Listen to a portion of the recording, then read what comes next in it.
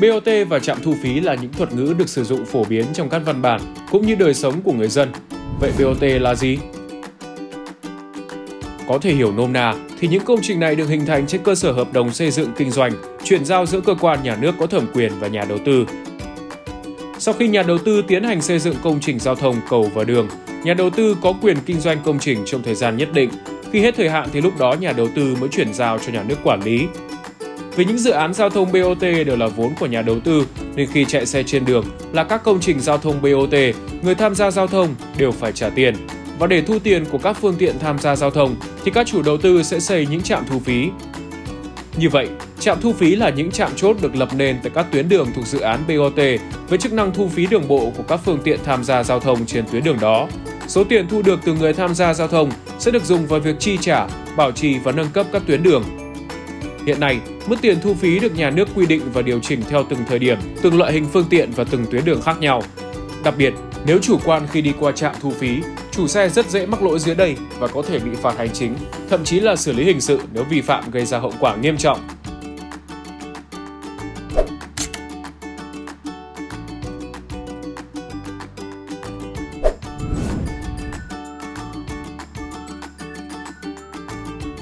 Tại trạm thu phí, nhiều làn đường dành cho xe máy được thiết kế rộng rãi và không có nhân viên đứng soát.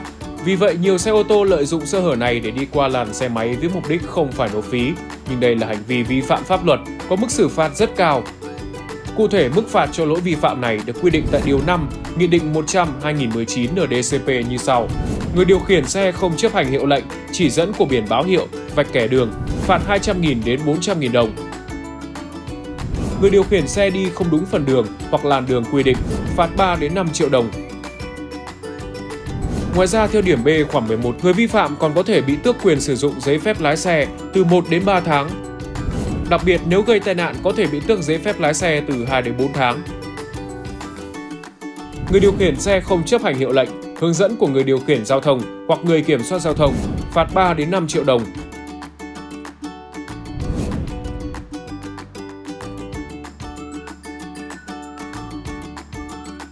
Hầu hết với các trạm thu phí trên cả nước đã được triển khai hình thức thu phí không dừng ETC.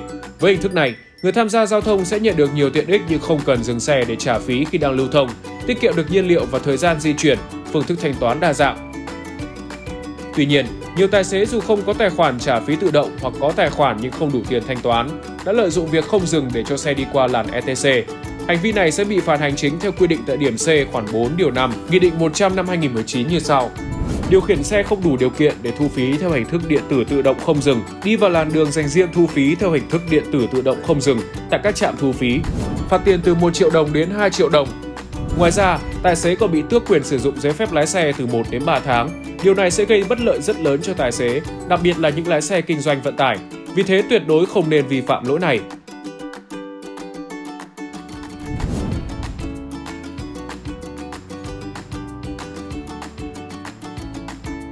Nhằm tránh việc ùn tắc giao thông bởi sự tham gia của rất nhiều phương tiện, các trạm BOT đã thiết lập quy định về việc không dừng đỗ xe quá 5 phút tại trạm BOT.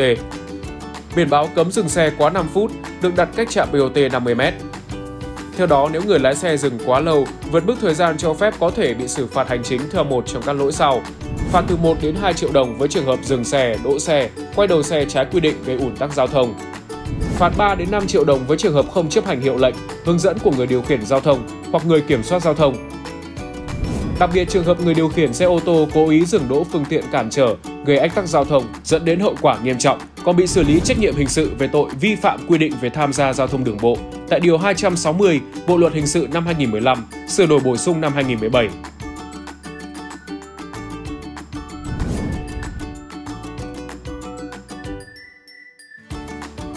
Khi điều khiển phương tiện tham gia đường bộ, người điều khiển phương tiện cần giữ một khoảng cách an toàn đối với xe chạy liền trước của mình để đảm bảo an toàn và tránh va chạm giữa các xe khi đi dừng, đỗ tại các trạm thu phí. Biển báo cự ly tối thiểu giữa hai xe được đặt tại các vị trí dễ dàng quan sát nhất. Cự ly tối thiểu không giống nhau đối với tất cả các trạm thu phí nhưng thường là 8 mét. Nếu tài xế không duy trì đúng khoảng cách an toàn này, sẽ phải đóng phí phạt với mức phí từ 800.000 đến 1 triệu đồng tại Điều 1 khoản 3, Điều 5, Nghị định 100-2019 trên đây là toàn bộ các lỗi hay mắc phải cùng với mức phạt nếu vi phạm khi đi qua trạm thu phí mà các tài xế cần lưu ý khi tham gia giao thông. Bạn thấy thế nào về thông tin này? Đừng ngần ngại để lại comment dưới phần bình luận để cùng nhau trao đổi. Hãy ủng hộ chúng tôi bằng cách nhấn like, chia sẻ video và ấn vào nút theo dõi kênh để đón xem nhiều thông tin hay và hấp dẫn nữa nhé. Xin chào và hẹn gặp lại!